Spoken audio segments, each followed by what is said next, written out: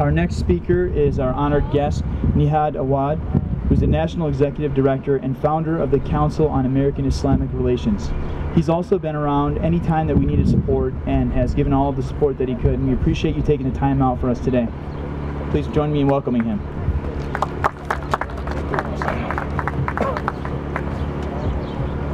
Thank you, Rami, and thank you, Sarah, and thanks uh, to the family for their resilience and their courage, uh, for their patience.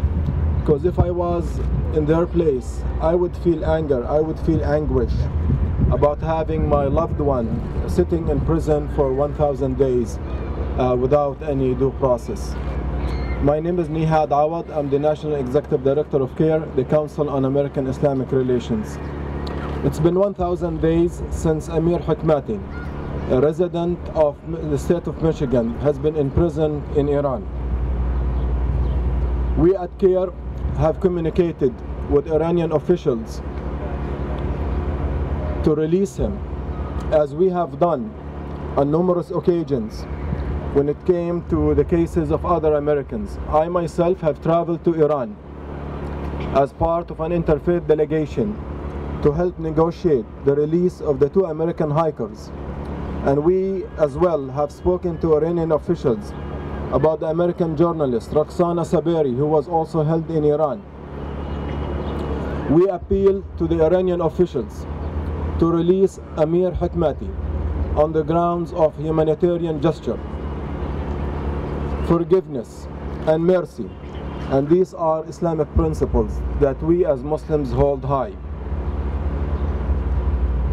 we urge the American officials to exercise more communications with the Iranian government as our two nations are seeking to bridge a long divide between two our nations.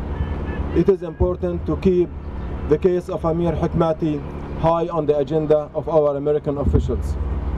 We as Muslims, Christians and Jews, individuals and organizations have to work together to communicate with the American officials and to urge the Iranian government to release Amir Hekmati as soon as possible.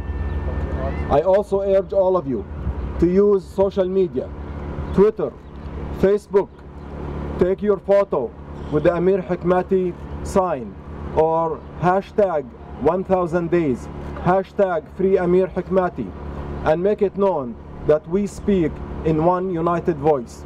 I hope that Amir Hekmati will come soon to join his family so that we see him live and sound to be here among us and to enjoy the freedom that we all cherish and we defend.